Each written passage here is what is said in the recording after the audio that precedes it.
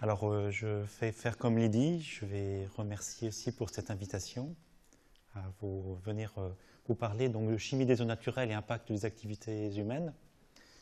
Et donc, euh, comme Lydie, donc, je viens de Toulouse.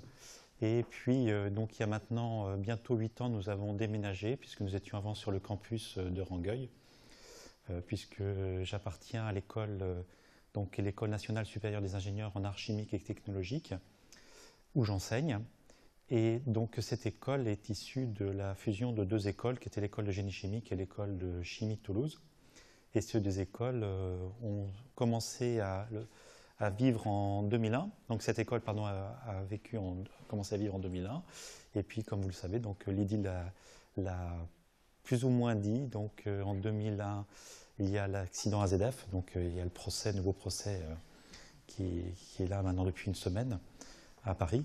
Et donc, euh, euh, à partir de, ces, de, cela, donc après l'accident, puisque la moitié de l'école a été détruite, donc euh, nous sommes maintenant sur un site, un nouveau site avec un nouveau bâtiment qui représente à peu près 30 000 mètres carrés, donc à côté d'un lac, hein, ça, ça, paraît très joli comme ça, et donc sur un site où nous avons à la fois la partie enseignement qui est ici et toute la partie recherche avec quatre laboratoires de recherche qui sont sur le site, dont une annexe de laboratoire de chimie de coordination de, où travaille euh, Lydie. Donc, euh, je, dans cette conférence, donc, je vais d'abord vous présenter mon laboratoire, puisque c'est un laboratoire donc, qui a été euh, cité tout à l'heure, laboratoire de chimie agro-industrielle, qui est une unité mixte de recherche de l'INRA et de l'INP, de l'Institut national polytechnique de Toulouse.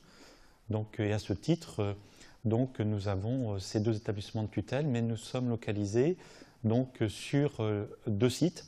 Le site principal, ou trois sites, je devrais dire même, donc le site principal est donc à, Toulouse, donc euh, au niveau de, de l'NCA 7. Nous sommes aussi euh, donc euh, situés à l'école d'agriculture de Pourpan, donc qui qu'ils appellent maintenant l'école d'ingénieurs de Pourpan. Et puis le troisième site est à Tarbes, donc vous avez ici l'ENI de Tarbes qui est ici. Voilà. Donc voilà les trois endroits où nous sommes localisés. Donc c'est à la fois un laboratoire de recherche et un laboratoire où il y a une partie transfert de technologie. Et là, vous avez les différentes euh, écoles d'ingénieurs qui participent, donc euh, qui sont en fait les fondateurs de l'INP. Les trois écoles fondatrices étant l'école d'agronomie, l'école l'ENSET, euh, où il y a l'électronique, l'hydraulique, la mécanique des fluides, les télécommunications, et puis l'NCA 7, donc avec la chimie, les matériaux, le génie chimique, le génie procédé et le génie industriel. Donc, euh, quelle est la thématique principale du laboratoire de chimie industrielle? Eh bien, c'est la valorisation totale de la biomasse et principalement d'origine végétale. Donc, il y a eu euh, de la recherche aussi euh, par rapport à la valorisation notamment des, déchets provenant de la vache folle, mais c'était anecdotique, sachant qu'il y avait quand même des gros tonnages en, déchets et qu'il y avait quand même une valorisation possible.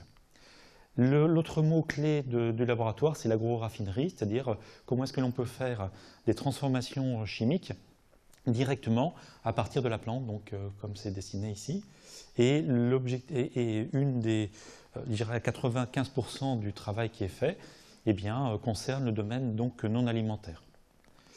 Avec trois équipes, donc une qui concerne le fractionnement des agro-ressources et procédés de transformation agro-industrielle, une qui est réactivité chimique des agromolécules et la lipochimie, et enfin, donc génétique et devenir environnemental des agroconstituants, à laquelle j'appartiens, sachant que j'ai aussi des, activités de recherche dans le domaine de, la première équipe. Tout, le monde compris, donc nous sommes une centaine de personnes, ça fluctue euh, très régulièrement en fonction du nombre de, doctorants, de stagiaires euh, qui peuvent être euh, présents, et de CDD ou CDI. Alors, pour ce qui concerne ma conférence, donc euh, je change là cette fois-ci de, sujet. Donc euh, tout à l'heure, euh, il a été donc expliqué que j'étais co-auteur à l'origine d'un livre qui est donc Chimie Environnement, mais surtout co-auteur de Chimie des milieux aquatiques. Et puis ça, en écoutant Lydie, je me suis dit, quand je prends Chimie des milieux aquatiques, donc c'est la cinquième édition qui est sortie maintenant il y a, deux ans, il y a trois ans, premier, la première personne qui a fait le, la, préface avec euh, François Morel, qui est professeur euh, aujourd'hui à, Princeton, euh, c'était Guy Horisson. Donc, si vous vous souvenez, Guy Horisson, la chimie, on parle de chimie, chimie société.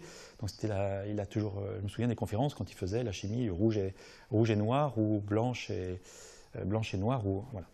Et puis après, le deuxième qui a fait la, la, dédicace, la, préface, a été Armand Latte, donc, qui est un Toulousain. Et puis pour celle-ci, donc c'est Christian Amator. Donc vous voyez qu'on a quand même euh, à chaque fois des personnalités euh, où la chimie est, quelque chose d'important, et puis la, vision d'un point de vue environnement et la qualité de l'eau est aussi un, point qui est important. Même si, bien sûr, certains points de vue peuvent être discutables. Bien. Sur le cycle de l'eau, je vais dire quelques mots parce que quand on parle de l'eau, il est important de savoir de quoi l'on parle. Ensuite, je vais vous parler plus de qualité de l'eau, pourquoi la composition des eaux euh, est-elle comme cela? Et puis, je prendrai quelques exemples d'impact des activités humaines, dont certains qui vont euh, euh, peut-être vous, alerter aussi sur les problématiques d'aujourd'hui. Alors, cycle de l'eau. Alors ici, je vous présente, c'est Philippe Maisongrande, qui est chercheur à, au Lagos. Alors, c'est une particularité de Toulouse, c'est un peu comme Paris aussi. Hein.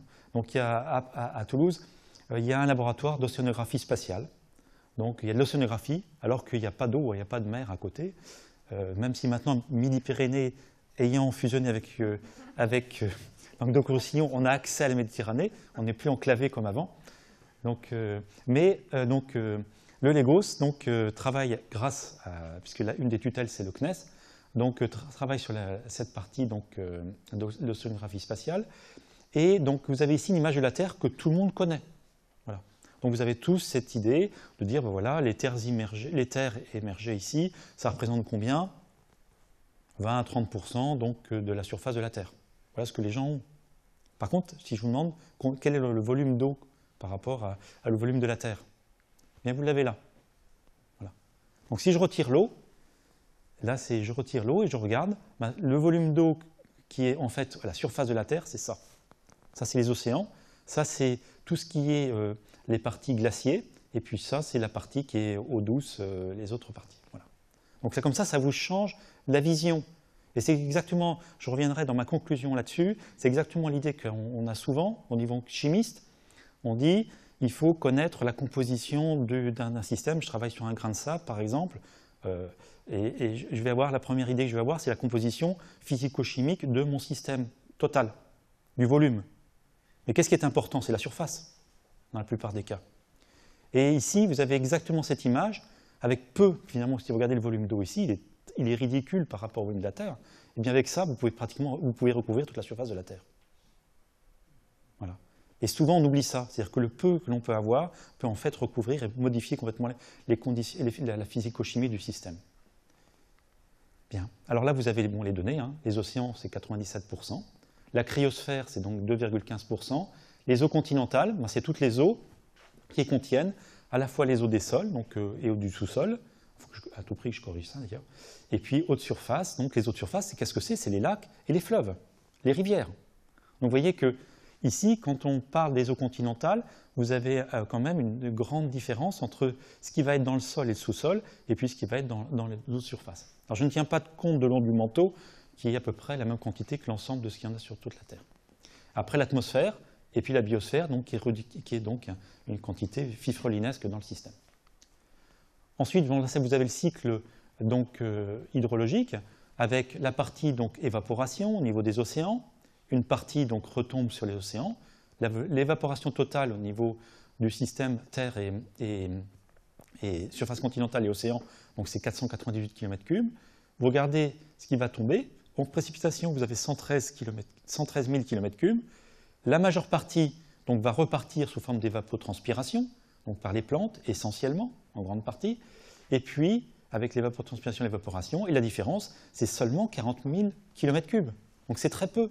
Et sur cette partie-là, il y en a 28 000 km3 qui vont ruisseler, qui vont arriver, retourner à l'océan, et 12 000 km3 qui vont arriver donc au niveau de l'infiltration des écoulements souterrains qui vont participer à la contribution de la recharge des nappes.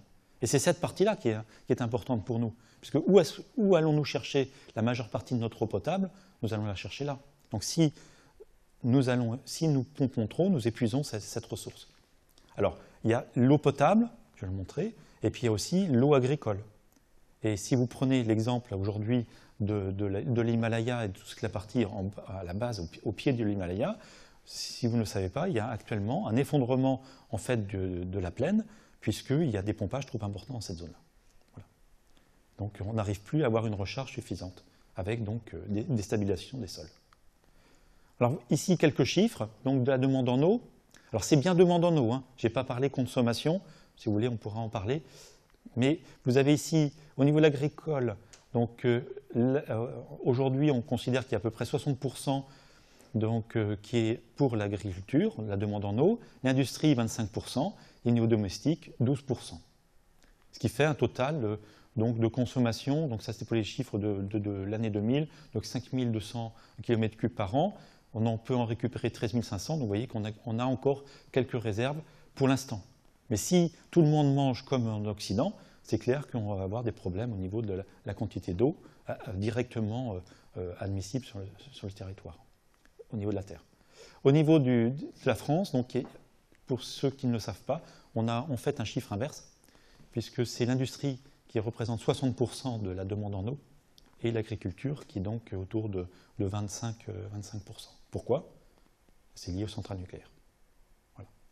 Le fait de refroidir les centrales fait qu'on euh, a un besoin de quantité d'eau beaucoup plus important. Donc je dis bien demande en eau et non pas consommation en eau.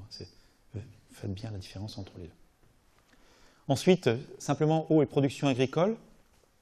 Si l'on regarde ce que j'ai mis en gris ici, puis en, rouge. Vous avez ici le, blé céréales, donc une, céréale en C3. Euh, vous avez besoin de 1000 mètres cubes d'eau euh, pour produire une tonne de blé. Le maïs, c'est 700 mètres cubes d'eau pour une tonne de maïs. Donc vous voyez, pour les céréales entre 4. Donc ça veut dire que quand je regarde ce chiffre-là, euh, la question qui se pose, mais pourquoi est-ce qu'on ne met pas plus de maïs, puisqu'on a besoin de moins d'eau ah, Tout simplement parce qu'il n'y a pas adéquation entre les cycles végétatifs et les précipitations dans nos, climats. Puisque le blé donc, a besoin du maximum d'eau au printemps, vous récoltez en été, alors que le maïs, vous semez au mois de mai et vous récoltez en septembre, donc voire octobre, et le maximum de besoin en eau est en, période d'été, c'est-à-dire en, juillet et en août, où nous avons le minimum d'eau. Voilà. Donc il n'y a pas d'adéquation, ce qui fait que, eh bien, même si cette plante nécessite moins d'eau, eh bien, vous avez ici un, problème, donc les problèmes d'irrigation et de compétition entre, l'agriculture et puis les besoins autres que, l'agriculture. Et là, je redirais aussi une autre chose, c'est que dans ces cas-là, vous avez une exportation de l'eau dans le cas des végétaux, liés à la photosynthèse. Au niveau d'un bœuf, quand vous consommez du bœuf, hein, pour produire donc une tonne de bœuf, hein, donc à peu près un gros bœuf, hein, eh bien, il vous faut 13 000 euh, mètres cubes d'eau. Donc là, vous avez des chiffres qui sont euh, conséquents. Donc quand vous mangez de la viande, bon, j'en ai mangé ce midi, hein, eh bien, euh, vous pouvez rendre compte que ça a un impact qui n'est pas négligeable sur le cycle de l'eau lui-même. Et si, bon, si c'est de la viande qui vient de France, ça va, mais si vous exportez de la viande qui vient d'un pays, par exemple la Nouvelle-Zélande, si vous prenez de l'agneau, ben, vous vous rendez compte que dans ce cas-là, vous allez exporter de l'eau qui vient de Nouvelle-Zélande et qui va arriver ici en France au détriment des Néo-Zélandais. Voilà. donc ça c'était pour la partie euh, donc, cycle de l'eau, euh, pour vous donner un peu les ordres de grandeur des, quantités d'eau. Euh, je ne sais pas si vous savez quelle est la quantité d'eau que vous utilisez à peu près par jour en moyenne. Bon, à Paris, on considère que c'est à peu près plus de 200 litres d'eau par jour, par personne. Voilà. À Toulouse, on est à 140. Voilà. Et aux États-Unis, le, pays qui consomme le plus d'eau par habitant, ce n'est pas les États-Unis, c'est le Canada. Non, c'est l'Arabie saoudite, euh, ça dépend des endroits, mais en, moyenne, sur l'ensemble, euh, le Canada est à plus entre 300 et 400 litres euh, par jour d'eau par habitant. Donc la chimie de naturelle et l'impact des activités humaines, là vous avez donc ce cycle de l'eau qu'on retrouvait tout à l'heure, mais cette fois-ci, eh il faut bien prendre conscience que cette eau, au départ, donc quand vous avez l'évaporation au niveau de l'océan, euh, euh, cette eau est pratiquement que de l'eau. Et puis bien sûr, dans l'atmosphère, vous avez le CO2 et donc des équilibres avec le CO2 qui font que la composition de l'eau va tout de suite, va rapidement changer ici. Ensuite, cette eau va aussi se charger en aérosol avec le chlorure sodium donc euh, à l'intérieur, va arriver au niveau des, surfaces continentales. Et au niveau des surfaces continentales, vous allez avoir donc les nuages, les pluies, les poussières, les aérosols, les brouillards, qui font que cette eau va avoir une composition qui va être à la fois ce qui va venir des océans, si les vents dominants sont de l'océan, plus tout ce qu'il va y avoir au niveau de, ce qu'il y a dans l'atmosphère, à la fois les, émissions par les, donc les fumées d'usine, à la fois par l'industrie plus générale, tout ce qui est chauffage et tout ce qui est transport. Ensuite, donc cette eau va arriver au niveau de la surface, donc peut ruisseler directement dans les, dans, les, dans les, un fleuve ici, ou au niveau des sols. Et au niveau des sols, il va y avoir une infiltration. Donc le sol ici va jouer le rôle d'interface entre la zone atmosphérique et puis les eaux souterraines qui sont donc euh, en dessous. Avec toutes les possibilités de contamination ou d'intrants dans le système, donc il y a les pesticides, il y a tout ce qui est les fertilisants, donc euh, les engrais, et puis des, systèmes qui, ne sont jamais anodins, c'est tout ce qui est les fosses septiques, et puis les accidents, par exemple ici, euh, un camion qui se renverse. Et un des plus gros problèmes de pollution en France, par exemple, diffus, c'est les stations d'essence. Pratiquement toutes les stations d'essence, vous pouvez considérer que les, les cuves fuient. Bon, c'est lié simplement à la corrosion en fait, des systèmes. Alors même si c'est un litre, deux litres, trois litres par jour, ça vous paraît peu, mais quand vous prenez une station-service qui fonctionne sur 30 ans, eh bien, ça fait des volumes qui ne sont pas négligeables. Donc, voilà. Et qui peuvent se retrouver à terme au niveau de, donc, des, puits ici de captage. Alors, petite question. Est-ce que vous savez quelle est la vitesse de, l'eau dans, dans, une rivière, dans un fleuve? Je prends la Seine. C'est bien la vitesse de l'eau? Non, pas le débit, la vitesse. Oui, c'est à peu près un mètre par seconde. Retenez ça. Oui, un mètre par seconde. La vitesse, maintenant, dans une eau souterraine ici, qui est celle de, surface.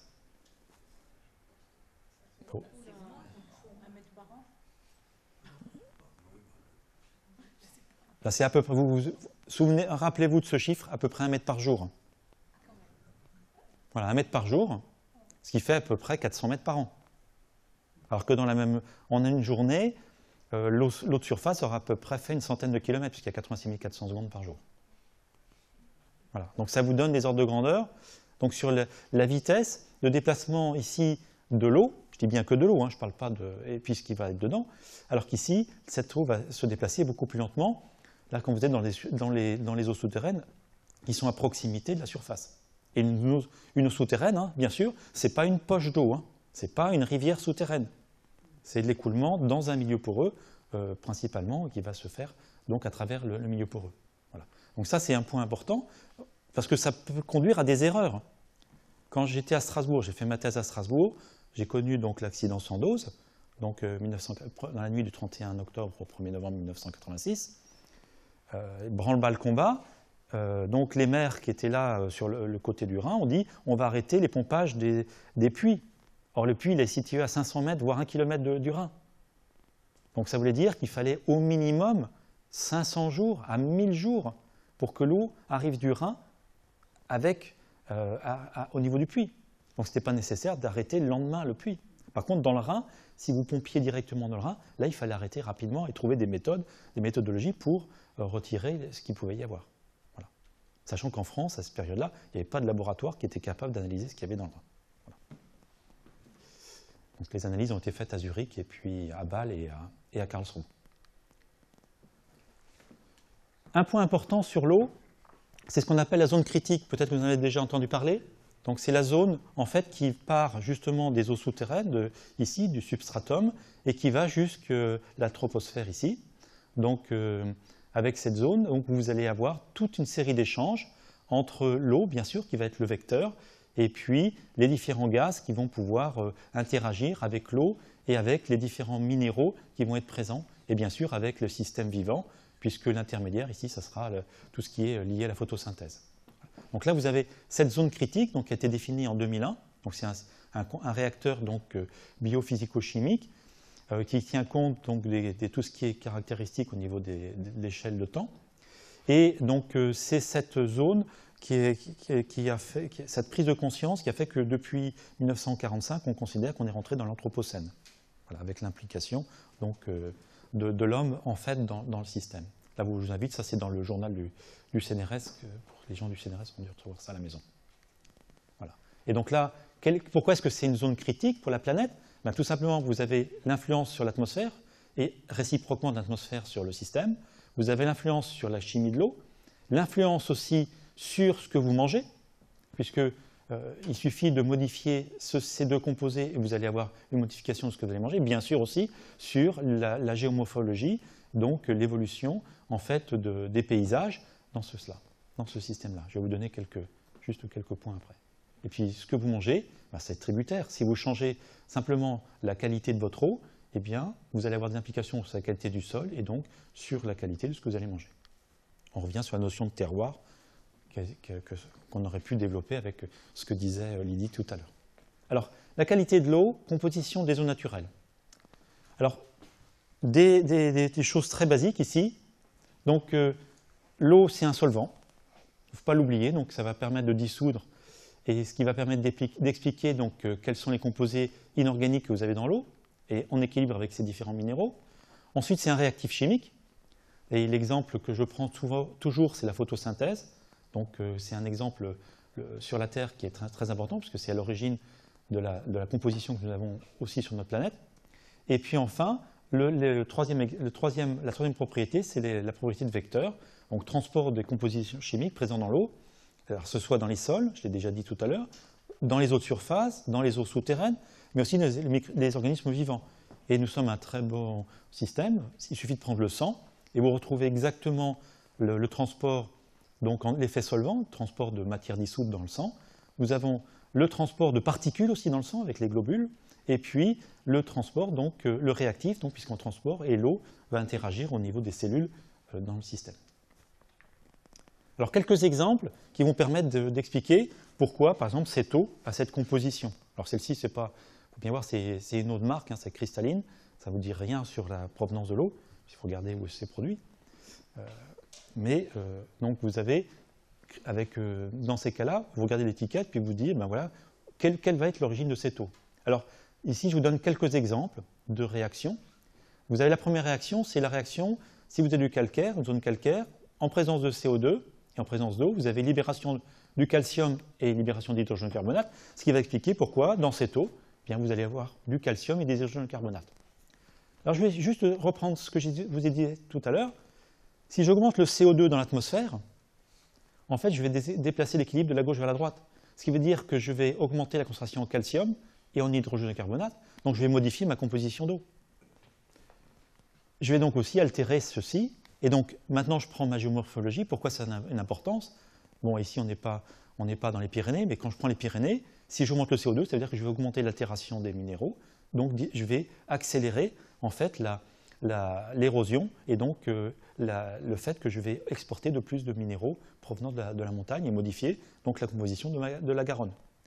Et si vous avez plus de calcium dans l'eau, eh bien vous allez devoir utiliser plus de, complexants, par exemple le DTA, pour éviter que, le calcium vienne euh, interférer avec les tensioactifs que vous avez dans vos lessives et dans vos savons. Donc voilà, il y a plein de choses que vous pouvez essayer de, voir au niveau des, implications ici. Si vous changez aussi la composition en calcium, eh bien, au niveau de l'écosystème, si vous avez trop de calcium, eh bien, si vous avez des plantes qui sont euh, calcifuges, eh bien, euh, dans ces conditions, eh bien sûr, vont avoir vous allez modifier donc, leur comportement. Au niveau du gypse, donc là, vous avez le sulfate de calcium en présence d'eau qui donne du calcium et du sulfate. Donc c'est une des principales sources ici des sulfates, ce n'est pas la seule. Et si par exemple vous voulez regarder la composition de l'eau de Vittel, il y a des sulfates, et, si, vous pouvez très bien montrer que c'est euh, lié à la dissolution en fait, du gypse qui est présent dans, l'aquifère. Au niveau de la silice, là on change de système au niveau des réactions acide-base. Là on a des roches sédimentaires donc, euh, qui contiennent donc du carbonate, du calcium, pardon. Et là on, est sur des roches plus acides avec de la silice et des feldspaths. Là on va avoir l'apparition de l'acide silicique et si je prends donc euh, le feldspath ici, un feldspath sodique, en présence d'acide carbonique, d'eau, je libère du sodium, ce qui fait que dans ces roches-là, on va avoir présence dans l'eau de concentrations en sodium qui peuvent être non négligeables, l'hydrogène carbonate, on retrouve l'acide silicique, et ici un déchet de la réaction qui est de la kaolinite. Voilà. Donc vous avez ici ce système qui va expliquer pourquoi dans ces, euh, dans ces roches, dans ces aquifères, vous allez avoir une eau qui va avoir une, plutôt une composition avec de l'acide silicique du sodium, un peu d'hydrogène carbonate et très peu en fait, de calcium ou de sulfate. Ensuite, il y a d'autres réactions physico-chimiques qui vont intervenir. Tout à l'heure, c'était les réactions acide-base. Là, vous avez les réactions redox. La pyrite, vous avez ici un exemple de pyrite. en présence d'oxygène et d'eau. Donc vous avez la formation du fer 2. Alors si vous êtes en condition oxydante, le fer 2 va être oxydant fer 3, qui va précipiter et donner la couleur orangée. Et puis surtout, vous formez de l'acide sulfurique qui est ici. Et dans les systèmes, ben, généralement, si vous allez à quelques centaines de mètres de la source euh, qui est pyritique, hein, euh, vous allez avoir neutralisation des protons par les carbonates de calcium et donc libération à nouveau de calcium et des hydrogéncarbonates dans votre système. Donc euh, ici, la pyrite est le principal minéral soufré sur la Terre. Donc la pyrite joue un très grand rôle dans les systèmes et donc il n'est pas rare, vous allez dans certaines, dans certaines régions, par exemple des, Pyrénées, où vous avez des sources où le pH de l'eau naturelle est à 2. Voilà. Donc euh, quand je fais mon cours, d'habitude, je demande quelle est la gamme de pH d'une eau naturelle. Alors les gens me disent c'est toujours entre 6 et 8. Hein. Non, la gamme d'une pH d'une eau naturelle, sans action de l'homme, c'est entre 2 ou 1,5 jusqu'à 13. Donc il existe des, des, zones sur la Terre où vous avez des pH de 13, des eaux naturelles. Ensuite, la dernière réaction importante, et je vous l'ai dit tout à l'heure qu'elle joue un rôle fondamental au niveau de la composition chimique des eaux sur la Terre, c'est donc la photosynthèse-respiration, donc ici le CO2 en, réaction avec l'eau, donc on retrouve l'eau, l'énergie donc euh, avec les photons, qui donne ici un sucre, ici ça pourrait être le glucose avec les 6, et libération d'un déchet qui est l'oxygène. Donc ça, c'est pour les réactions de la gauche vers la droite. Et puis nous, au niveau des mitochondries, nous faisons l'inverse. Nous récupérons l'énergie de la biomasse, ici, pour, en présence d'oxygène, et nous récupérons l'énergie euh, qui, est, stockée en fait, sous forme de biomasse. Et donc, avec ces réactions, vous pouvez comprendre une grande partie de la composition chimique des eaux qui vous entourent. Voilà. Ça, c'est un point important. Et là, vous avez donc des exemples donc, de composition chimique d'eau naturelle. Donc vous avez des compositions euh, naturelles. Ici, vous voyez, on a mis des pH entre 6,5 et 8,5. Je vous ai dit tout à l'heure qu'on pouvait mettre 1,5 jusqu'à 13, parce que c'est des, systèmes un peu exceptionnels, avec une concentration moyenne. Ici, l'exemple de la Loire, de la Seine, donc avec des compositions physico-chimiques qui sont différentes, dans la mesure où les substratums, en fait, sont différents. Le lac du Bourget, et puis à droite, donc l'exemple de la mer, donc euh, l'océan, les eaux, les eaux marines, avec notamment donc un pH qui est qui est élevé, beaucoup plus élevé, autour de 8,1, qui est tamponné, donc euh, autour de ce pH, et puis ensuite avec des concentrations, bien, sûr, qui sont connues, en chlorure et en sodium, qui sont très élevées par rapport aux autres systèmes. Et tous les minéraux sont relativement élevés par rapport à la surface de la Terre, des, eaux, continentales. Alors maintenant, vous allez vous regardez une eau, vous faites une analyse, et ici vous avez deux rivières, le de Cascade, donc, qui est une rivière qui s'écoule sur dans, les Alpes euh, suisses du côté du Tessin. Et à droite, vous avez la Glatte, qui est une rivière qui passe à Zurich et qui va jeter dans le Rhin. La différence, c'est le fait que cette eau, cette rivière s'écoule sur une roche cristalline. Ici, c'est sur des roches euh, détritiques, hein, quaternaires, des molasses. Là, il y a une, petite implication des habitants.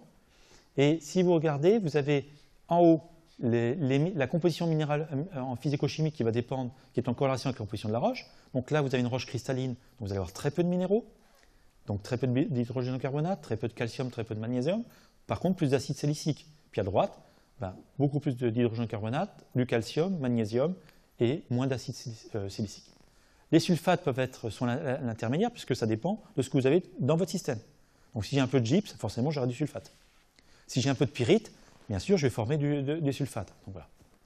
Et puis après, tout ce qui est en bas, il n'y a pas de corrélation avec la composition de la roche. Donc les chlorures, phosphates, ammonium, nitrate, carbone organique dissous. Donc là, d'où cela vient-il? Là, ça vient d'une station d'épuration qui est juste en amont du, euh, qui est en, amont du, site de prélèvement. Les phosphates ben, proviennent aussi de la station d'épuration, l'ammonium aussi, les nitrates aussi. Donc s'il n'y a pas donc, euh, un système de déphosphatation, ce qui était le cas à l'époque, et puis le carbone dissous, qui bien sûr n'est pas lié à la composition de la roche. Par contre, ce carbone organique dissous provient de, euh, du lessivage des sols. Alors quand je fais une mesure de carbone dissous, en fait, l'impact des activités humaines sur le carbone organique dissous, c'est 1%. quand vous prenez la, la, Seine, il y a à peu près 10 euh, mg par litre de, de carbone dissous dans la, dans, dans la Seine, eh bien, vous avez seulement 0,1 mg qui provient des activités humaines, maximum. Voilà. Donc il ne faut pas voir comme quoi les activités humaines vont être une part importante. Par contre, je ne dis rien sur la composition chimique de ces composés organiques, bien sûr. Voilà, alors comment est-ce que l'on fait pour comprendre tout cela et qu'est-ce que je dois faire? Alors quelles sont les, méthodes? Alors, La méthode pour étudier, eh bien, c'est d'avoir ici ce système entre le terrain, donc quelles sont les questions qui vont être posées au niveau du terrain, qu'est-ce que je veux comprendre, le comportement ici de, des, contaminants ou des, molécules. Donc, avant d'aller sur le terrain, il est bon de réfléchir et d'avoir une idée des mécanismes, des systèmes, parce que souvent on oublie ça, on va sur le terrain, on fait des mesures, et en fait on fait des mesures pour des mesures, sans savoir finalement à quoi ça sert. Donc avant d'aller sur le terrain, c'est de se poser les questions, quels sont les concepts les mécanismes? Et donc il faut voir le modèle à la fois comme un outil de connaissance et un outil de prévision. Donc vous allez sur le terrain, vous faites les mesures, vous revenez bien sûr entre les deux, et puis il y a toujours des questions qui vont apparaître, donc des paramètres à quantifier, donc vous avez besoin d'avoir une approche laboratoire. Et alors il y avait une conférence donc, il n'y a pas longtemps sur la chimie analytique, eh bien vous avez besoin de mesures. Et pas au sens où, justement je parlais de Guy tout à l'heure, pas au sens où c'est juste un système presse-bouton ou de prestation de service, mais en fait, la nécessité d'avoir un couplage entre ce que vous mesurez et ce qu'il y a ici sur le terrain.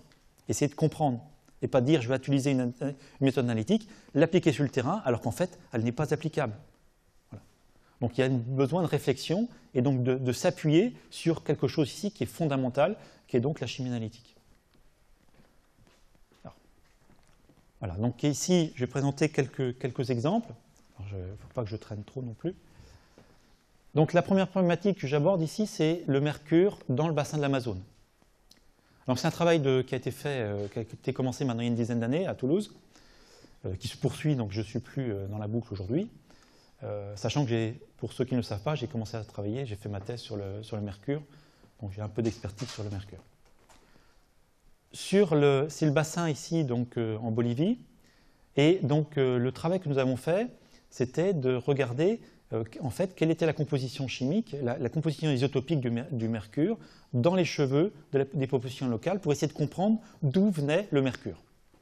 Vous avez ici donc euh, ce qui a été observé dans ces cheveux, c'est qu'il y a 12 à 35 microgrammes par gramme en fait du mercure, ce qui est sous forme de méthylmercure. La limite pour le méthylmercure donnée par l'OMS, l'Organisation mondiale de la santé, c'est 10 microgrammes par gramme.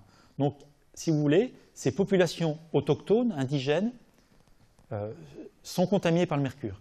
Et la question que nous nous sommes posée, c'est d'où venait le mercure? Puisque vous êtes dans les zones d'orpaillage, où les mineurs utilisent des quantités de mercure donc, euh, à des importantes, donc du mercure qui vient d'Espagne. Et donc euh, la question, c'est est-ce que cette quantité, ce mercure provient donc de, de l'orpaillage ou provient d'autres sources de, contamination. Donc, les questions ont été les suivantes, et donc on a essayé de regarder ce qui se passait. Et grâce aux traceurs, donc aux isotopes du mercure, eh bien, en utilisant donc le fractionnement isotopique, on a pu donc montrer qu'il y avait différents types de sources. Il y a les sources anthropogéniques, euh, liées aux activités humaines, donc le mercure utilisé dans les mines, et puis une autre chose qui est en fait le mercure qui est lié au fait que on brûle les, donc les végétaux de façon à avoir des champs, on met de la culture et puis quelques, on utilise un, deux ans, trois ans. Comme on a euh, brûlé en fait tout ce qui se passe, donc on a bien la, quantité de matière euh, minérale, mais il n'y a pas assez de carbone organique puisqu'on on l'a détruit. Et donc du coup, pendant deux, trois ans, on peut cultiver. Au bout de deux, trois ans, les gens arrêtent ce qui fait que les sols deviennent lessivables à ce moment-là et il y a une érosion importante. Donc ça, c'est lié aux activités humaines. Et puis aussi, vous avez une partie du mercure qui provient en fait de l'altération du substratum, et notamment de tout ce qui est les schistes ici. Et enfin, le mercure qui est sous forme, qui vient de l'atmosphère, alors soit sous forme naturelle, mais aussi donc, qui provient des activités donc, liées à la combustion du charbon. Donc la Chine étant le premier producteur mondial de mercure actuellement avec, tout ce qui est central au charbon. Donc la principale source aujourd'hui de mercure sur la Terre, c'est donc l'atmosphère. Voilà. Si vous allez dehors, hein, vous récupérez une dose de mercure euh, sans, sans, problème. Alors on a regardé tout cela, et puis finalement, qu'est-ce que l'on a montré?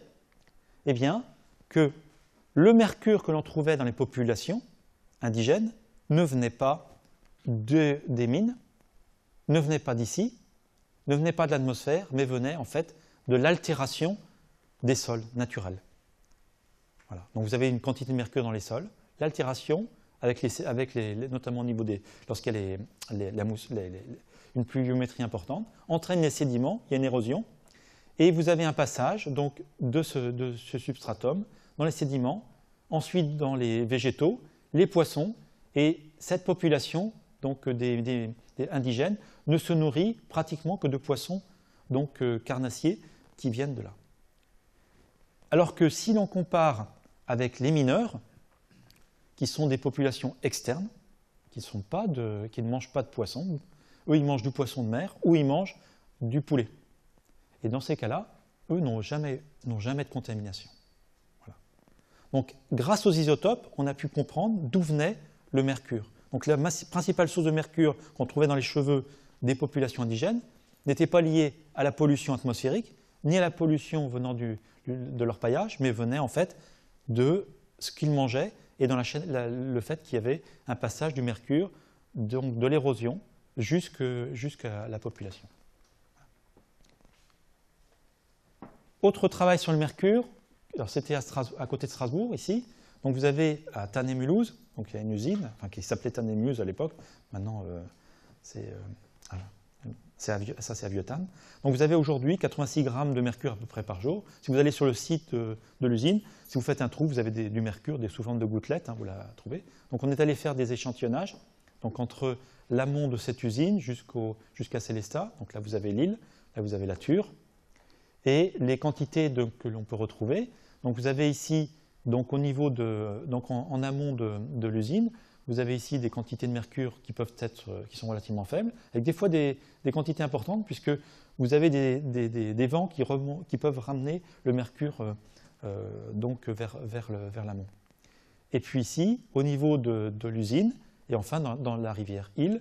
Alors ça, c'était les données qui datent de 2001, 2002, et donc il y a encore euh, c'était quand il y a deux ans, euh, à la Mansenot, qui est au nord de, Strasbourg, vous avez encore des poissons qui sont contaminés par le mercure, et la seule source de mercure dans ces cas-là, c'est cette usine-là. Et les poissons donc, euh, sont interdits à la vente et à la consommation. Alors si l'on veut comprendre tout cela, au niveau du, mercure, vous avez ici ce cycle biogéochimique du mercure, avec donc l'atmosphère qui est une des sources importantes de mercure sur la Terre, mais vous avez aussi les, usines, comme euh, c'était le cas ici à Tanné-Mulhouse, donc avec du mercure qui est ici, c'est du mercure zéro, qui va être ensuite oxydé et qui va pouvoir être euh, transporté jusqu'à la rivière, qui est à proximité. Donc il y avait une, autorisation préfectorale qui permet le, le relargage d'une certaine quantité de mercure dans la rivière. Ici, vous retrouvez ce mercure euh, zéro qui est oxydé, qui va être oxydé en mercure 2. Ce mercure 2 peut être euh, complexé donc avec différents ligands en solution, mais aussi être euh, donc euh, méthylé à la présence d'organismes, de, micro-organismes. Et vous avez ici la formation de méthylmercure, et vous retournez, donc vous avez ce cycle ici. Il peut aussi être complexé avec des particules, sédimenté, et vous avez donc tout un système assez compliqué pour ce cycle biogéochimique. Alors si on veut comprendre plus en détail, eh bien vous avez ici la nécessité de comprendre ce qu'on appelle la spéciation, c'est-à-dire de connaître exactement toutes les formes chimiques du mercure qui peuvent être présentes en solution, que ce soit les formes complexées, ici, avec le, carbone organique dissous, avec ici, ça c'est le DTA, avec le chlorure, avec ici, euh, donc les complexes avec le, euh, ici manque des, hydrogènes, avec euh, donc les OH-, et puis après, tout ce qui est la complexation avec les phases solides qui sont ici à gauche. Et le dernier point sur le mercure, c'est celui-ci, qui a été un, travail, donc euh, je le cite, je, me permets de le reciter, il y a 30 ans, euh, puisque j'étais le deuxième à l'avoir fait dans le monde, à montrer qu'il y avait transport de colloïdes qu'on pouvait transporter donc ici du mercure. Alors c'est un papier qui n'est pas cité, parce que c'est dans une revue obscure. Voilà, donc à l'époque j'étais jeune. Hein. Et euh, donc c'est une expérience intéressante, donc une expérience où il y a du mercure avec un sable, on regarde, et puis là vous avez, j'ai fait ici ce qu'on appelle je, descends, je fais passer le, gradient de chlorosodium de, donc, de, de, 10-2 molaire à, ici à, à 0. Et dans ces conditions, je provoque ce qu'on appelle la peptisation des argiles, ici les kaolinites, qui font que je déstabilise ces, ces, argiles. Et ces argiles vont se transporter comme l'eau. Voilà. Et du coup, eh bien, ce que j'ai montré, c'est que le mercure était, fixé sur ces argiles. Donc c'est un, phénomène naturel qui peut se produire n'importe où. Et pendant longtemps, euh, la plupart des personnes me disaient de toute façon, ça c'est impossible. Et c'est impossible que ça se produise dans l'environnement. Alors, ça c'est juste pour vous montrer. Et puis, ça, c'était une publication dans Nature en 1999. Donc, migration du plutonium dans les eaux souterraines à partir des, des sites de tests dans le Nevada. Où donc, euh, la personne, donc, Kersting ici, a, refait des, a fait des expériences. Ils ont fait des, analyses et puis ils ont montré que les colloïdes pouvaient être migrés. Et vous avez ici l'exemple de ces colloïdes qui étaient soit à gauche, donc c'est euh, des éolites, hein, et puis à droite, donc une, argile qui est une élite. Et donc ces deux, ces deux euh, composés, donc des aluminosilicates, vont être le support en fait du plutonium dans le système. Et donc c'est à partir de, cela, et ça c'était vraiment le papier important, qui a dit bah, attention, il faut vraiment prendre en compte le, transport de contaminants aussi sous la forme de colloïdes. Alors étant membre du conseil scientifique de l'Andra, je peux vous dire que ces parties-là, maintenant, on les regarde beaucoup plus avec attention dans, ce qui concerne le stockage des déchets radioactifs. Je reviens à ce schéma, et je vous ai dit tout à l'heure que la chimie et la chimie analytique étaient une part importante si l'on veut comprendre en fait la composition chimique des eaux naturelles et surtout l'impact des eaux naturelles, l'impact des activités humaines sur les eaux naturelles. Alors, j'ai la chance donc, de faire partie d'un équipex qui s'appelle CRITEX, donc qui veut dire Parc national d'équipements innovants pour l'étude spatiale et temporelle de la zone critique des bassins versants. Le coordinateur, c'est Jérôme Gaillardet, donc l'Institut physique du Globe de Paris. Et puis, donc, euh, je, suis avec François Prévost, donc euh, responsable de la, tâche donc, euh, capteur chimique innovant. Et nous avons eu donc un, peu d'argent pour nous équiper pour travailler dans le domaine du développement de nouveaux capteurs physico-chimiques. Alors, je ne vais pas tout vous montrer, mais nous avons travaillé sur un, capteur qui permet donc de travailler sur la spécialisation du mercure, à nouveau. Donc l'objectif, c'est de, descendre à, la femtomole, donc 10 puissance moins 15 mol par litre. On est aujourd'hui à la 10 moins 12, donc à la picomole par litre. au niveau de, méthane dissous, et aussi de nutriments comme le silicium, le phosphate, euh, donc l'azote sous forme de nitrate. Là, l'application, c'est le milieu marin. Actuellement, nous avons un travail, une thèse qui, est sur le bord, et la dernière qui commence, c'est sur les, les pesticides. Alors, quand on parle de capteur, qu'est-ce que c'est qu'un capteur? Vous avez ici l'exemple simplifié. Vous avez donc l'analyte, la molécule que l'on veut analyser, ou la famille de molécules que l'on veut analyser, par exemple le mercure. Alors, comment est-ce que l'on a fait ici? En fait, on est parti sur un dépôt, un électrodépôt de, de nanoparticules d'or sur une surface de carbone vitreux. Donc, vous avez ici différentes images, donc avec des grossissements différents, qui permettent d'expliquer ce qui se passe à la surface. Et donc, on va faire de l'électrochimie, donc avec, d'un premier temps, la réduction du mercure oxydé euh, en mercure zéro, qui va former un amalgame à la surface des nanoparticules d'or, puis ensuite on réoxyde, et on peut donc mesurer la quantité de mercure qui est réoxydée dans ces cas-là. Donc, euh, voilà. À partir de là, donc on a le transducteur, qui permet la mesure du courant, et enfin le traitement du signal, qui est la dernière partie. Donc là, nous avons au niveau du laboratoire, nous travaillons essentiellement sur la partie récepteur, entre l'analyte et le récepteur. Pour la partie, euh, tout ce qui est transducteur, donc c'est ce que nous, euh, nous mettons en commun avec les, compétences qu'il peut y avoir à Toulouse, par exemple. Alors, je n'irai pas plus loin sur le mercure, mais puisque j'ai retiré les. Ça. Nous avons appliqué donc, pour le mercure à des eaux naturelles. Deuxième exemple ici de, capteur, mais cette fois-ci c'est un capteur, la, comparaison entre capteur euh, euh, donc, passif et puis les analyses. Donc là c'est un travail qui se fait en, collaboration avec New Chang, qui est donc chercheur et responsable du département de chimie analytique à l'Université des sciences de, Saigon. Donc nous travaillons sur les molécules, les pesticides polaires et le glyphosate dans le delta du Mekong. Donc nous allons avoir une communication à San Francisco, là si nous y allons, on ne sait pas, avec euh, ce qui se passe. Donc, euh, euh, sur la partie des eaux ici. Alors vous avez les sites. Alors ce sont des sites. Alors vous êtes dans le delta du Mekong, donc le Vietnam est ici. Vous avez donc le Vietnam est un pays qui fait plus de 2000 km de long, avec la, zone minimum ici fait 15 km, 30 km. Et là, vous avez donc euh, Ho Chi Minh City, donc, euh, qui, est Saigon, qui s'appelait avant Saigon. Et les sites de, prélèvement sont dans le delta du Mekong qui est ici. Et là, vous avez différents sites de prélèvement avec des retenues euh, d'eau qui permettent d'irriguer donc toutes ces zones, puisqu'il y a des zones, des périodes où il y a, pas assez, il y a moins d'eau, des périodes où il y a plus d'eau. Et donc, il y a eu deux, différentes périodes aussi de prélèvement sur le terrain.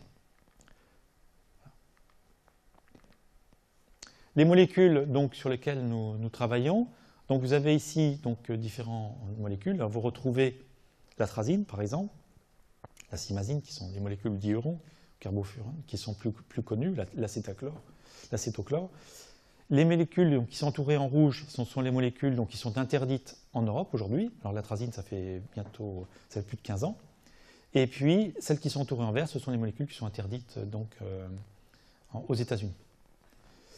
Alors, l'atrazine, pour votre gouverne, en France, on la retrouve toujours, hein, même à Toulouse, euh, tout simplement parce que les gens vont la chercher en Andorre hein, euh, et les agriculteurs continuent à l'utiliser, hein, même si c'est interdit.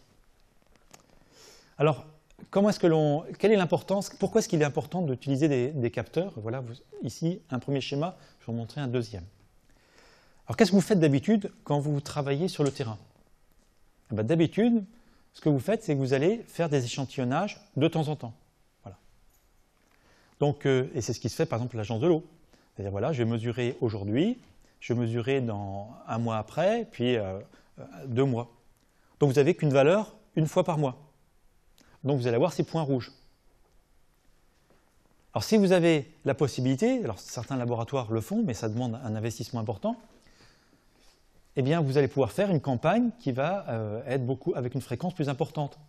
Alors vous allez pouvoir analyser par exemple avec ces, points-là, avec des échantillonneurs euh, que vous avez sur le terrain. Et puis ce qui se développe de plus en plus, donc c'est avec les échantillonneurs euh, donc, automatiques, donc qui augmentent la fréquence, et puis, vous avez le développement de ce qu'on appelle les capteurs passifs. Donc, euh, ici, pas les capteurs passifs, mais les échantillonneurs passifs, qui permettent d'échantillonner sur une semaine, deux semaines, trois semaines, quatre semaines, voire plusieurs. Donc, c'est ce qu'utilise beaucoup l'agence de l'eau. Ce qui fait que vous avez ici une valeur moyenne, donc entre ces deux points.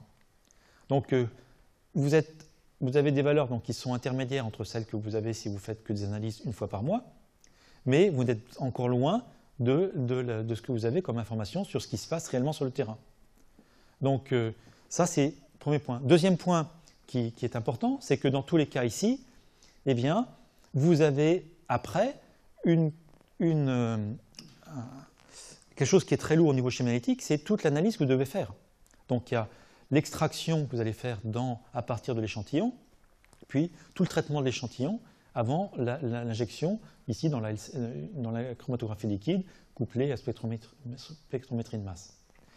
Et donc, au niveau du système, c'est quelque chose qui va vous coûter en temps et en argent. Voilà. Et en, en hommes, si vous voulez faire l'échantillonnage correctement.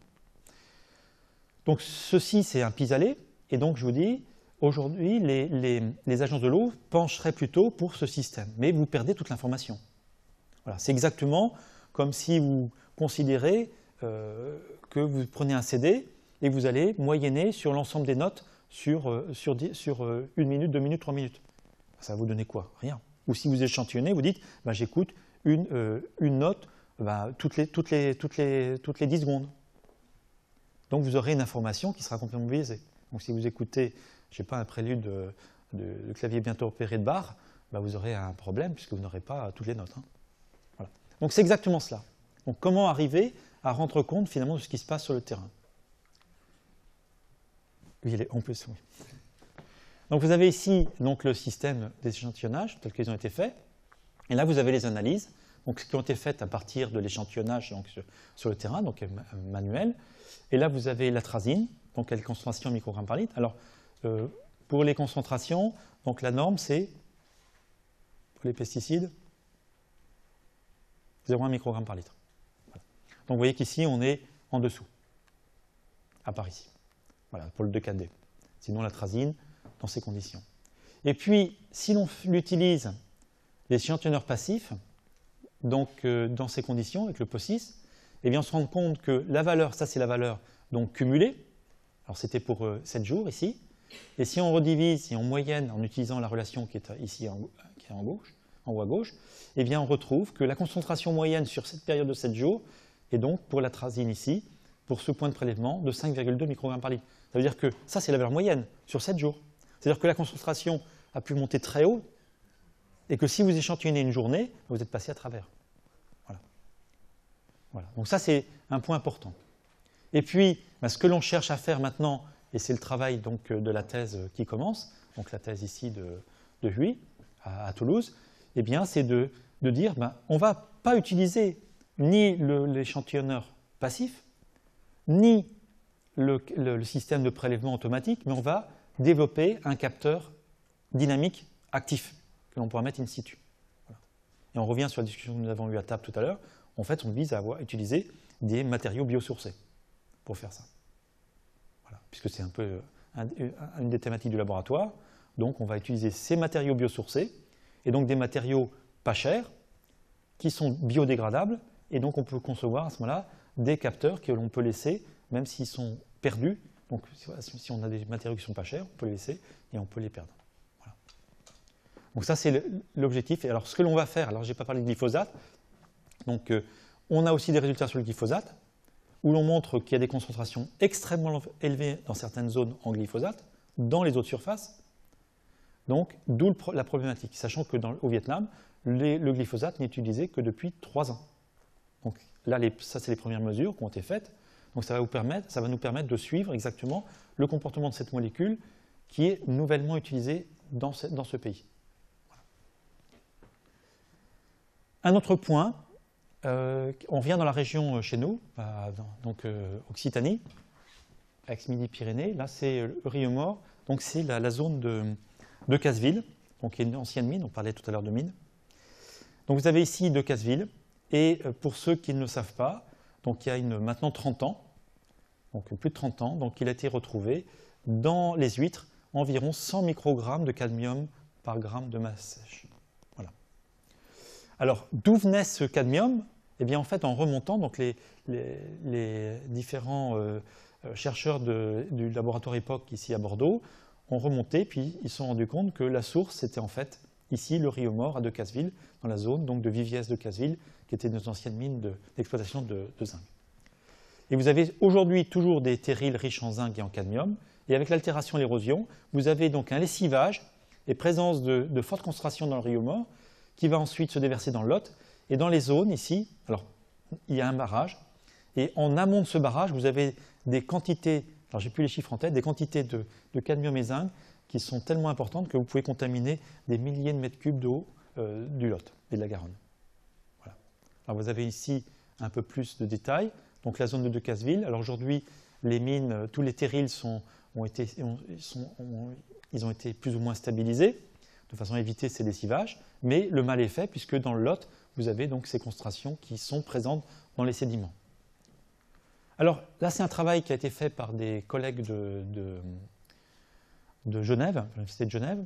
C'est pour vous montrer quelle est l'importance et pourquoi vous avez besoin de ces capteurs in situ pour comprendre ce qui se passe.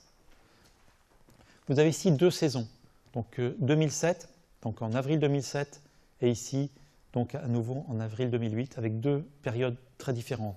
Période sèche, période humide ici, avec un orage important, donc au niveau des quantités d'eau, quantités d'eau qui font que vous avez euh, donc euh, des phénomènes de transport et aussi de transport de particules liés à, l'orage. Voilà, des conditions très différentes. Souvenez-vous de ça. Ça, va être important pour le deuxième. Et puis là, qu'est-ce que vous avez? Vous avez sur ces deux diagrammes les, la variation du pH, donc, euh, qui est ici donc, exprimée en vert, et là, les, les périodes de, de, jour et de nuit.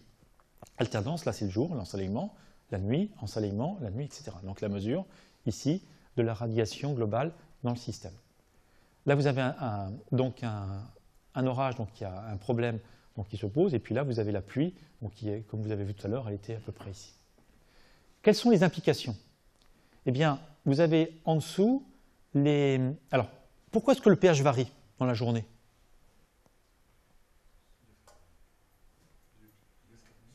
Oui, lié à la photosynthèse. Voilà, vous l'avez là. Alors, ce n'est pas la réaction complète, mais si je mets la réaction complète, donc euh, c'est clair que si je mets ici du CO2, donc dans la période de respiration, donc dans la journée, je me déplace vers la gauche et la droite, donc je consomme le CO2, donc le pH, il augmente. Et si pendant la nuit, donc j'arrête, c'est la, réaction principale, donc il y a de la respiration pendant la journée, mais dans la, dans la, dans la nuit, il n'y a plus de photosynthèse, donc il n'y a que de la respiration, du coup, les, cet équilibre se déplace de la droite vers la gauche, je produis du CO2, donc je produis de l'acide carbonique et le pH va baisser. Voilà. Ce qui se passe, et on retrouve bien ça ici. Alors ici, c'est plus difficile puisque vous avez vu, il y a trop de particules. Donc ça va avoir tendance à noyer. Et donc au niveau du bilan radiatif, il y aura beaucoup moins de photons qui vont arriver au niveau du, du phytoplancton qui est présent. Maintenant, je regarde ici. Là, c'est les données pour le cadmium. Il y a les mêmes pour, pour le zinc et pour d'autres éléments, le manganèse aussi. Là, c'est juste pour vous donner des informations. Voilà ce que représente le cadmium total dans l'eau. Alors ça, vous voyez, les échantillonnages, quand est-ce qu'on les fait? On les fait le jour, on ne les fait pas la nuit. C'est très peu souvent que les gens vont aller chercher, on allait échantillonner la nuit. Quand j'étais à Zurich, en postdoc, on, l'a fait. Ensuite, vous avez ici ce qu'on appelle le, cadmium particulaire euh, extractable avec l'acide. Voilà, donc ça, c'est les, dans, ces, et bien sûr, ces échantillons qu'on a prélevés la, la journée. Et là, vous avez les systèmes de mesure de cadmium, donc les capteurs qui ont été laissés in situ, qui permettent de faire les mesures donc, euh, en continu, le jour comme la nuit. Et ce que vous observez, eh bien, c'est des variations entre le jour et la nuit. Alors un peu moins ici, et là vous les retrouvez bien. Donc. Alors les explications, eh bien, suivant les conditions, ce qui va se passer, c'est quand il y a des particules, vous allez avoir des phénomènes de complexion, ce qu'on appelle les complexions de surface. Donc le cation, le cadmium ici, va venir se fixer sur les particules et va rester en suspension. Donc il va disparaître de la colonne d'eau. Et puis, euh, ensuite, eh bien, il va y avoir aussi l'influence ici des variations de pH, puisque si le pH diminue, cette réaction-là se déplace de la droite vers la gauche, et si le pH augmente, vous avez placement de la gauche vers la droite. Et ce que donc Marie-Lou Tercier a résumé ici sur, sur ce schéma, c'est ceci. Et donc les différences de comportement entre ce qui se passe dans la journée et ce qui se passe la nuit, simplement liées aux échanges. Et là, la phase porteuse principale, c'est l'oxyde de manganèse, donc qui va euh, jouer un rôle important sur le comportement ici du cadmium, mais on le retrouve sur le plomb, on pourrait mettre sur le zinc aussi. Et, aussi le rôle du phytoplancton qui est présent là et qui va donc modifier le, pH entre le jour et la nuit et donc avoir des implications aussi sur les réactions globales. Donc, conclusion de cette partie, c'est que si vous n'avez pas de capteur, si vous n'avez pas des systèmes de mesure en continu, en fait, vous ne pouvez rien comprendre de ce qui se passe. Vous allez faire des analyses, les gens vont spéculer, mais ils ne comprendront pas ce qui se passe. Et là, l'interaction, le milieu vivant et le système, il est, bien démontré grâce à cette mesure donc, en continu. Donc voilà, vous avez la réaction complète. Donc la nécessité ici, et c'est grâce ici au capteur et surtout à la mesure sur le terrain que vous pouvez le faire. Si vous êtes au laboratoire, vous ne le verrez pas. Vous ne le verrez pas, puisque vous n'aurez pas toutes ces informations. Et donc, d'où la nécessité de revenir à ce schéma entre la modélisation, le terrain et le laboratoire, et bien sûr de disposer des outils analytiques qui sont pertinents pour faire ce que vous voulez comprendre. Et là, vous avez, donc ça c'est chez nous à, l'NCA 7, hein. voilà, il y a le lac, je vous l'ai montré tout à l'heure, et un exemple où il y a l'eutrophisation euh, euh, liée justement à, la photosynthèse et l'excès de nutriments. Dernier exemple, je m'arrêterai après. Donc vous avez ici, ça le signe, j'ai quelques images. Euh, donc c'est, vous savez où c'est Salsigne? Salsigne, c'est au nord de Carcassonne. Donc c'est entre Toulouse et entre Toulouse et Narbonne. Vous avez Carcassonne ici. Vous remontez vers la montagne noire et vous retrouvez donc Salsigne. Alors pour ceux qui ne savent pas, Salsigne, c'était donc la principale mine d'or d'Europe, qui a été formée en 2000, et surtout la principale mine d'arsenic au monde. Donc c'est une mine qui pose plein de problèmes, et qui a été, entre guillemets, euh, réhabilité, donc maintenant il y a une dizaine d'années. Alors si vous allez à Salsigne, vous avez ça, donc vous avez ici le site, hein, Donc Carcassonne est ici. Vous descendez. Là, vous remontez. Là, si vous allez vous promener, c'est très beau. Hein. je vous invite à venir par là. Là, il y a l'Astour avec trois jolis châteaux. Hein. Il, y a un, restaurant gastronomique ici. Et puis, les mines d'or de Salsigne et le stockage qui se fait ici. Aujourd'hui, donc tous les déchets ont été entreposés dans cette zone-là, qui était une cuvette qui a été complètement fermée. Ici, vous aviez une vallée avec une route avant. Et aujourd'hui, si vous passez sur la route, il y a, la vallée a disparu et vous avez en fait un, stock de déchets. C'est des stocks de, cyanure, entre autres, et de différents systèmes. Alors, c'est géré par le BRGM. Donc, tout le système de la réhabilitation était géré par l'ADEME euh, et le BRGM, avec des financements qui venaient du Sénat. Voilà, maintenant voilà ce, que, vous pouvez voir. Alors c'est Frédéric Auger, donc certains connaissent peut-être son nom. Euh, donc vous avez les anciennes mines ici, donc euh, euh, on ne voit plus, beaucoup de choses hein, si vous allez sur le site. Et puis ça c'est le site tel qu'il apparaît aujourd'hui, où vous avez donc le stockage des déchets. donc il y a eu donc une, une, géomembrane qui a été disposée, et vous avez sur cette zone-là jusqu'à 100 grammes d'arsenic par kilogramme de sol. Donc ça fait à peu près 10%. Ça, c'est l'image assez récente, quand j'étais euh, quand j'étais la, première fois. Donc tout ça, c'était plat. Euh, donc là, euh, lorsque ceci a été conçu, eh bien, les personnes, on avait demandé aux gens de considérer qu'ils étaient en régime, en, régime océanique et non pas en régime méditerranéen, ce qui fait qu'ils avaient oublié qu'ils n'avaient pas pris en compte le fait qu'il y avait des précipitations intenses, ce qui fait que vous avez des, des, de l'érosion importante. Et aujourd'hui, donc, euh, euh, je vais vous montrer, donc, euh, ça c'est ce qui est sorti donc, le 30 octobre 2016. Il faut savoir qu'il y a un an et demi à peu près, le préfet a sauté, parce qu'il avait dit qu'il n'y avait plus d'arsenic. Et donc le nouveau, aujourd'hui, Ségolène Royal a, donc, réinvesti, réinvesti, de l'argent pour faire en sorte que l'Orbiel, qui est la petite rivière, eh bien, il n'y ait pas des concentrations de l'ordre du milligramme par litre aujourd'hui. Voilà. La norme, c'est 10 microgrammes par litre. Hein. Donc euh, ça, c'est le, point important, et c'est tout, le travail associatif euh, dans la vallée qui fait que les, pouvoirs publics ont été mobilisés pour essayer de, maîtriser un peu le système.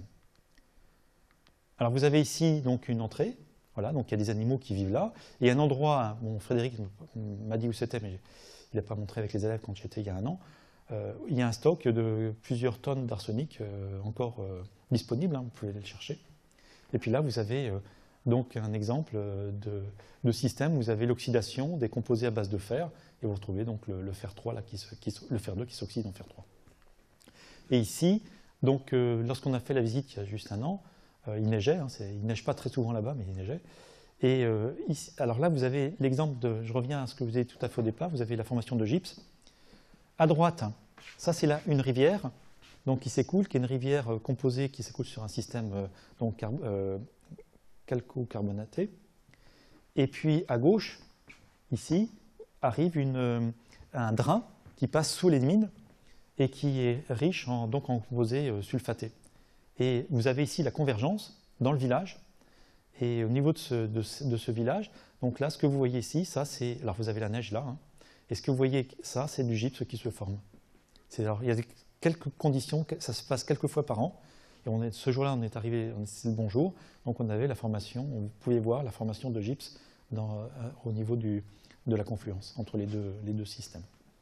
Voilà. Alors, ça c'est très récent, je l'ai montré dans, à Lydie tout à l'heure dans l'avion. Euh, c'est Charlie Hebdo d'hier, 1er hein, février 2017. Alors je ne sais pas si vous êtes... Euh, beaucoup de choses sont... C'est Fabrice Nicolino, pour ceux qui ne le connaissent pas. Il a échappé il faisait partie de ceux qui étaient, euh, il y a deux, ans, euh, lors de l'attentat à Charlie Hebdo. Euh, donc, aujourd'hui, il y a une volonté de changer le, code minier. Il y avait un article dans le monde il y a, la semaine dernière, il y a 15 jours, là-dessus, pour faciliter l'ouverture des mines et surtout mettre l'environnement de côté, l'implication. Alors pourquoi? Parce que comme vous le savez, on a besoin de les terres rares, notamment, ou différents types de métaux, euh, pour l'industrie. Et euh, ici, donc l'ouverture, euh, il est envisagé l'ouverture de la mine de Salo, donc qui est dans l'Ariège, parce qu'il y a du tungstène, mais il y a aussi de l'amiante. Donc, euh, la bien sûr, a des, intérêts euh, très, intéressants. L'amiante, aujourd'hui, est plutôt décriée. Mais voilà, donc il faut savoir, et vous avez une centaine de sites en France dont les mines se pourraient se rouvrir, et notamment aussi Salsigne, il y a des questions de, réouverture de la mine, parce qu'à côté de l'or et de l'arsenic, il y a aussi quelques terres rares qui sont présentes dans la, région. Voilà. Donc ça, c'est important. Alors j'avais proposé il y a quelques années sur euh, De Casseville eh bien, que l'on fasse une réflexion sur comment est-ce que l'on pourrait valoriser ces déchets, pas les déchets, mais aussi le fait qu'il y a des mines, qu'il y, a des, minerais. Mais c'est de concevoir une, utilisation propre du système, c'est-à-dire de concevoir dès le départ, plutôt que de laisser les, déchets. Alors bien sûr, ça coûte plus cher, mais il, peut y avoir la valorisation directe du système. Voilà. Plutôt que de laisser les déchets euh, sur place et puis laisser euh, tout le problème. Par contre, euh, faire en sorte que ceux qui, ceux qui peuvent gagner de l'argent peuvent, le font. Voilà. Alors, conclusion. Ben, si vous voulez, ce que j'ai, un peu mon message, c'est qu'il nécessité d'intégrer la connaissance des, des mécanismes physico-chimiques pour une meilleure compréhension de l'impact des activités humaines, et aussi pour construire des modèles permettant de prévoir le comportement des contaminants. Ça, c'est point important. Et je reviens toujours à ça, c'est-à-dire essayer de mettre, en œuvre cette, trilogie ici, et puis s'appuyer sur tout ce qui est donné, tout ce qui est euh, euh, euh, équipement analytique, méthodes analytiques qui sont performantes. Et l'application, donc au système réel. Alors, nécessité de considérer les versions spatiales et temporelles des échanges d'interfaces, on l'a vu sur l'exemple ici de Casseville, ainsi que les échangeabilités des systèmes complexes. Et surtout, il y a un point qui est très important c'est vrai pour les chimistes, c'est vrai pour les géochimistes. Donc aucun besoin de purification des phases solides du fractionnement de la matière organique naturelle. Quand vous regardez les gens dans les laboratoires, maintenant ça change. Mais pendant longtemps, les gens allaient sur le terrain et puis ils purifiaient leur, système. Et donc du coup, ils retiraient ce qui était important. Souvenez-vous de l'image de la Terre tout à l'heure. Je regarde la Terre, j'ai de l'eau. Mais en fait, je retire ce à la surface, ben, j'ai toujours euh, mais j'ai plus cette eau. Voilà. Donc ça a été souvent, et le chimiste, alors il y en a un certain nombre dans la salle, ben souvent il préfère travailler sur des systèmes propres, purs, qui contrôlent. Le système naturel, si vous allez là dehors, vous n'aurez pas ça. Voilà. Donc il faut comprendre l'ensemble et pouvoir hiérarchiser. Donc en prenant en compte la spéciation vraie, aussi bien dans la phase aqueuse en utilisant des capteurs dynamiques in situ qu'aux interfaces. L'hydrodynamique effective, alors j'en ai pas parlé, il faut bien, juste un tout petit peu au début, en disant que l'eau ou les systèmes, ça bouge. Ce n'est pas un système, c'est pas un réacteur fermé. C'est un réacteur ouvert. Et donc, aussi tenir compte de la réactivité effective au niveau de ces interfaces. Et pour un petit clin d'œil pour ce, dit, euh, ce qui a été dit tout à l'heure,